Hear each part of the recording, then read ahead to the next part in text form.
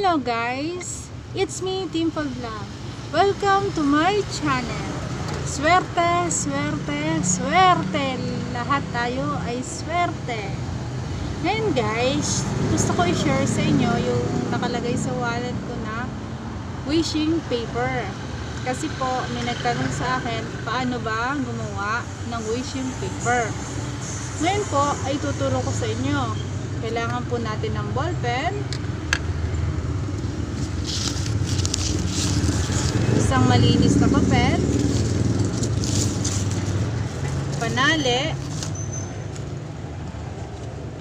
at syempre, ang napaka swerteng pampaswerte ang dahon ng laurel. Kailangan din po natin ng cinnamon powder at rock salt po. Kunti lang po. Hindi ko po maipakita ngayon sa inyo kasi nasa tindahan ako. Pero meron po ako niyan sa bahay ko. Ganito lang po yung ating gagawin. Sa isang malinis na papel,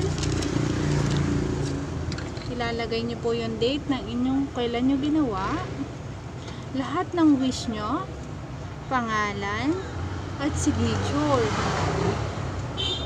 Huwag niyo pong kalilimutan yung date para alam nyo kung kailan to nangyari. Di ba? Kung anong date, kung kaano katagal bago nangyari yung mga wish nyo. Tapos po, kunin natin yung dahon ng laurel. Ito po, kahit isang piraso lang po ng dahon, lagay na natin po dito sa ibabaw, sa gitna, at yung pong cinnamon powder, ilalagay din po natin. Kasi po ang cinnamon powder, ayun po ay pampahatak ng swerte. Tapos po, yung rock salt. Lalagay po natin yung rock salt. Kasi ang rock salt, pampaalis ng mga negative. Then po, itutupi natin. Papasok po. Papasok. Papasok po. Papasok po ang pagtupi. Yan. Papasok papunta sa inyo. Papasok. Tapos, papasok din ulit. Papasok po. Yan. Pasok. Yan. Papasok po. Naka, nakaganyan na po.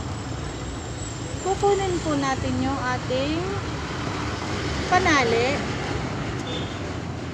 Itatali nyo po ng pito. Tapos po ibubuhon nyo. At sa kabila po, pito rin. Tapos, iriribon nyo. Pagkatapos mo may ribbon, ilalagay nyo na po sa wallet nyo. At saka po pala, siya nga po pala guys, ito ay dapat gawin kung araw lang ng Martes at Biyernes po. Sa umaga. Alas 6 hanggang alas 8 po ng umaga, siya pwedeng gawin. Tapos, ilagay niyo po sa wallet. Yung pong ginagawa natin pampaswerte, ayun po ay gabay para po tayo swertehin. Kasi po, kailangan din natin ng gawa. Siyempre, siyempre, pray din kay God na mangyari yung mga wish nyo. Kasi may kasabihan din tayo na nasa tao ang gawa, nasa Diyos ang awa. Ito pong pampaswerte ay gabay lamang.